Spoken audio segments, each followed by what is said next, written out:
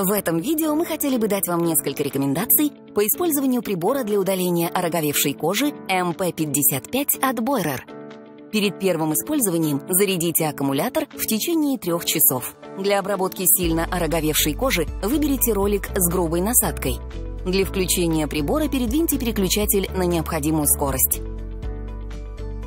Светодиодная лампочка обеспечивает оптимальное освещение для удобной работы – Медленно и плавно водите прибором, держа его вертикально под углом 90 градусов к поверхности кожи. Для обработки слегка роговевшей поверхности используйте тонкую шлифовальную насадку. Для замены насадки сдвиньте ролик влево и потяните вверх. Для того, чтобы поменять ручной скребок, снимите защитный колпачок и отсоедините скребок, потянув его вперед.